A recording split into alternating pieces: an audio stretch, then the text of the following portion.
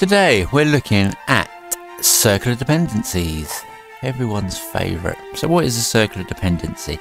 Well, it's when something depends on something to build, so it gets itself in a loop. So in this case, GPM needs ncurses, oh sorry, ncurses needs GPM to build, but it also wants GPM to build ncurses, so it's stuck in a loop.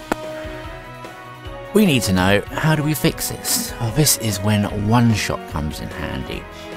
So in this case, we will do emerge verbose ask one for one shot GPM, and you can see that it is still doing it. What we do now is change this to ncurses.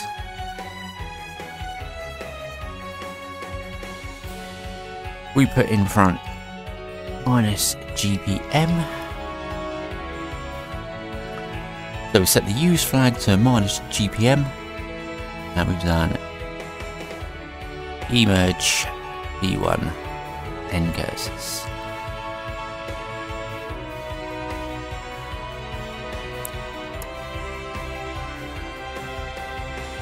Build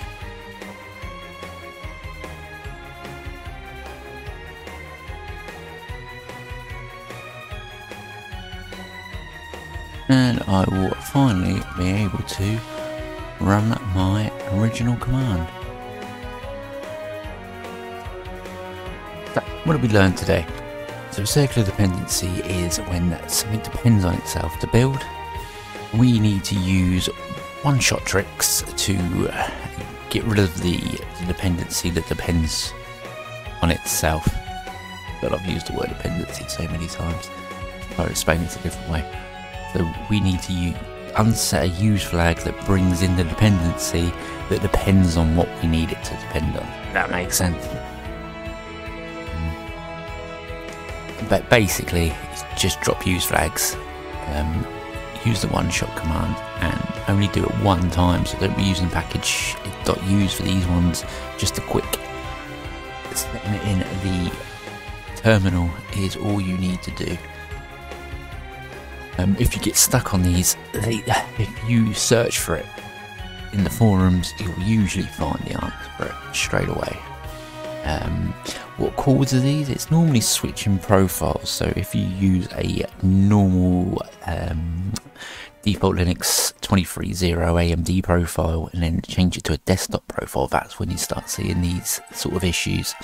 Um, and it's basically what we say, don't make a profile change lightly. But I hope this one helped and shown you how to get out of it if you ever hit it. Catch you on the next one. Keep compiling. So it's clear I have a Gentoo addiction. If you want to help enable me and in exchange make interesting videos for you, why not consider being like these wonderful people and donating to me? Um, prices start at $1 and it helps me to do tasks such as these please consider um, clicking on the Patreon link to find out more. Cheers, guys.